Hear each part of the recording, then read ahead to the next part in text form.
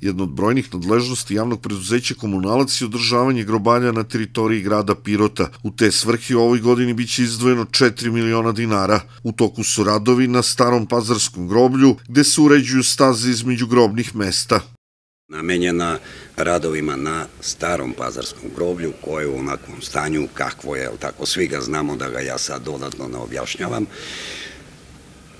Pokušat ćemo, naše namera da to uredimo koliko je moguće. Dakle, pre svega mislim na one staze koje su isprepletane, ima ih, nema ih, gde ih ima već su oronule, propale. Mi smo krenuli nešto prošle godine, sa toliko para koliko smo imali, ove godine smo izdvojili čini mi se duplo više, negde oko tih 4 miliona, hoćemo da svuda gde možemo da ovaj, betoniramo te staze, da izbetoniramo, da ljudima bude lakši prilaz, da bude to lepše.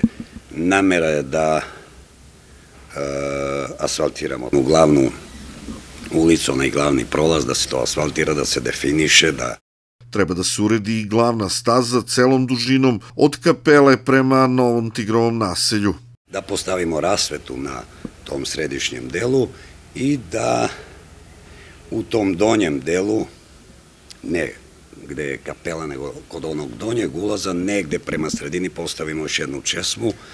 Postaviti česmu nije problem, problem je ono odvodna kanalizacija, vidjet ćemo gde možemo, jer kanalizacija je tek u Kozaračkoj ulici, da vidimo gde ćemo to da, da provučemo, da tako kažem, i da i tu može da se koristi sada za vodu, idete, ne znam, nekih 200, 300 ili 500 metara.